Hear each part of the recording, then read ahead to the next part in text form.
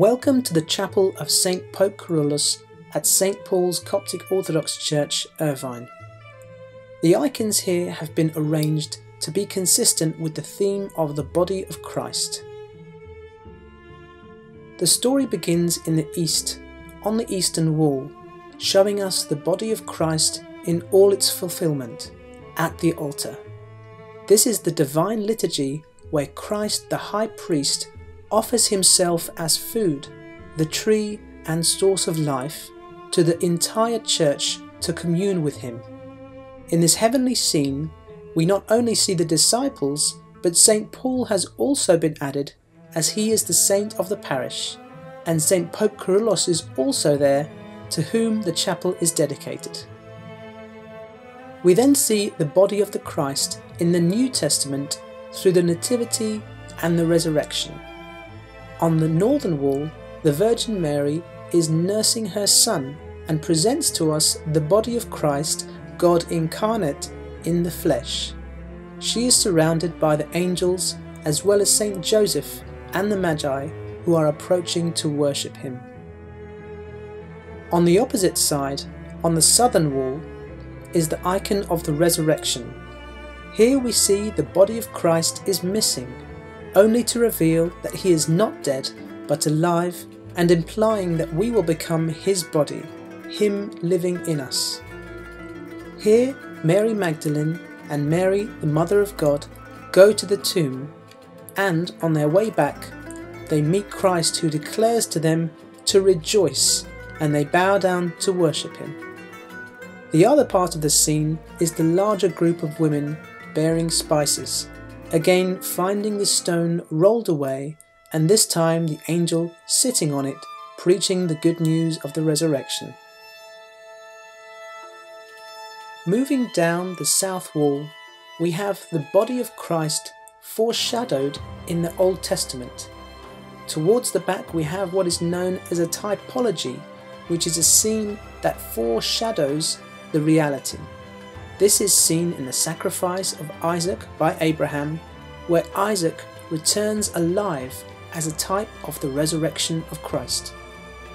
On the other side, on the northern wall, Isaiah the prophet, pointing at the Virgin Mary in the Nativity, holding the prophecy that the Virgin will conceive and bear a son, Emmanuel, God with us. The body of Christ focuses on God's constant presence with us, his people. Here is a cherubim holding a burning coal under the throne of God, which he will place on Isaiah's mouth, according to the vision he had. This is symbolic of the Eucharist. Further down on both walls, we see the body of Christ as we know it today manifest in the saints. On the one side, the 21 martyrs of Libya, as this is only very recent, it shows the body of Christ is continuous and alive. Then we have St. George, St. Theodore, St. Philopater Mercurius, and St. Victor, generals in the army. On the other side are the ascetics, cross-bearers who didn't just die once like the martyrs, but went out into the desert to die to themselves daily. His resurrection transforms us as well to defeat and continue to trample over death day by day, like the martyrs. The cherubim of Isaiah mentioned before also is taking St. Macarius by the hand to the desert to go deeper in his communion and prayer.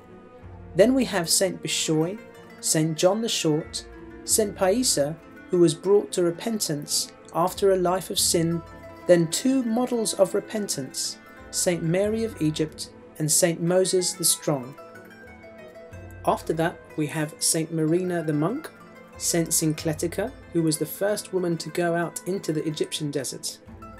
Then we have St. Anthony the Great, St. Paul the Anchorite, St. Pachomius, and St. John Cassian, a European monk who travelled to the Egyptian desert and documented the life of the monks there.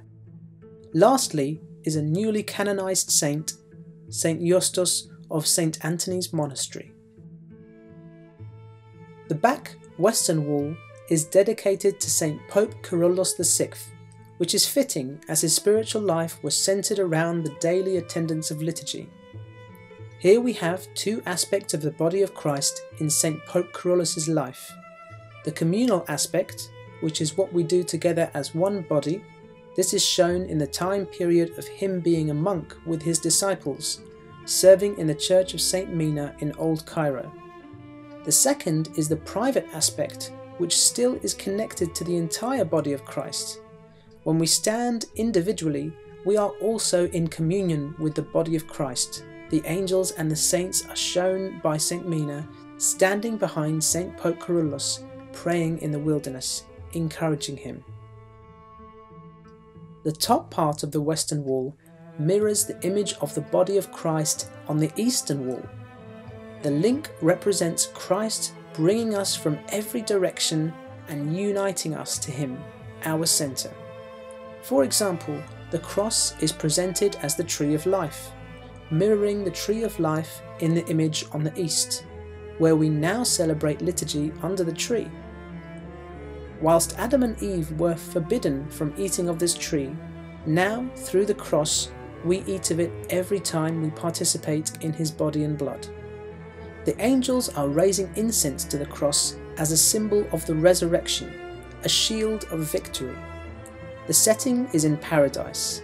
There are trees and birds, as well as wheat, which represents the body of Christ on the altar in the form of bread. There are two deer either side, which is not unusual. Animals either side of the cross is traditionally seen in monasteries. As King David says, As a deer pants for the waters, so my soul longs for you. Altogether, all the saints, the people of the Old and New Testament, are joined together and us with them to become the fullness of the communion of the body of Christ.